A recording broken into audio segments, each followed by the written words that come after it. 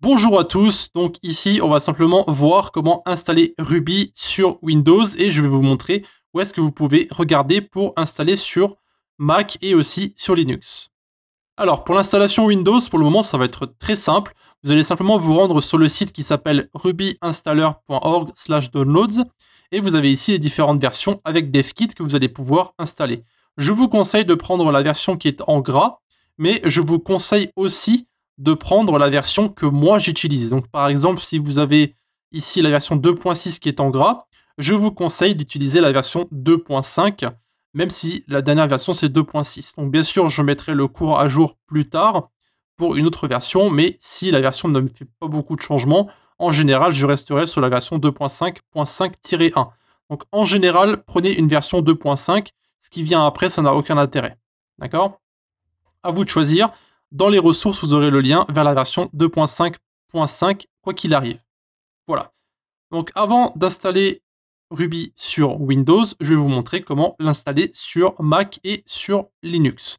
Donc, pour l'installation, c'est très simple. Je ne vais pas vous montrer comment faire petit à petit, mais vous avez ici l'article de gorels.com slash setup qui va vous permettre de sélectionner l'installation que vous désirez avec le, système d'opération que vous voulez et ensuite suivre les différentes instructions. Vous allez voir que en suivant les instructions, ça va être extrêmement simple. La raison pour laquelle je ne vous montre pas les instructions sur Windows, c'est parce que ben, il vous demande d'installer un sous-système de Linux. Donc bien sûr, c'est la façon la plus optimisée de faire les choses, mais ça peut aussi les compliquer.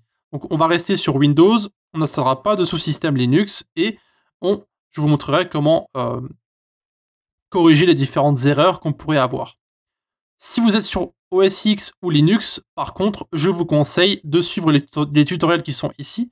Vous avez ici l'installation de Homebrew, la version de Ruby. Donc prenez la 2.5.3, hein. encore une fois, ça dépend ce que vous voulez choisir. Et vous pouvez simplement prendre l'installation pour Ruby. Ne prenez pas la configuration Git ou l'installation de Rails. Encore une fois, c'est à vous de voir ce que vous voulez faire. Mais vous pouvez simplement en rester là pour l'installation de Ruby. Vous n'avez pas besoin d'aller plus loin pour le moment. D'accord? On verra comment installer Rails plus tard, quand on utilisera Rails, parce qu'au début, on va simplement utiliser Ruby. Mais pour Mac, vous avez simplement ces différentes commandes à taper. Et en ce qui concerne Linux, bah, c'est exactement la même chose. Vous allez sur Ubuntu. Voilà, vous prenez votre version d'Ubuntu. Et vous avez ici l'installation de Ruby, ou 2.5.3, et vous avez ces différentes commandes à taper. Encore une fois, rien d'incroyable. En ce qui concerne ici le, ce que vous pouvez utiliser, utilisez pas AirBenv, utilisez RVM. Je trouve personnellement qu'il y a beaucoup moins de bugs lorsque vous utilisez RVM. Voilà. Donc suivez bien les différentes étapes d'installation, autrement vous allez vous retrouver avec des erreurs et ça serait très fâcheux. Voilà. Donc passons maintenant à l'installation de Ruby sur Windows. Vous allez voir que c'est extrêmement simple. Vous cliquez sur le setup que vous avez téléchargé. Encore une fois. Vous allez ici accepter la licence. D'accord Next. Ensuite, l'installation laissée par défaut. On va mettre ici UTF-8 pour l'encoding externe. c'est ce qu'on utilise en général. Installer. Next, ici, vous allez cocher cette case. Si elle n'est pas cochée, ça permet d'avoir en fait le fameux DevKit dont je vous parlais avant. Donc on va appuyer sur Next. Et ici, vous avez l'installation qui va se lancer. Donc une fois que l'installation sera terminée, vous aurez un autre panel qui va s'afficher et on se retrouve justement quand l'installation ici sera terminée. Voilà, donc ici, l'installation de Ruby est maintenant terminée. Nous allons pouvoir cocher cette case ici, Run RDK Install, pour en fait installer les différents euh, outils de développement que nous allons pouvoir utiliser pour les différentes gemmes avec une extension C. Donc, ça, ça n'a aucune importance. Appuyez simplement sur Finish.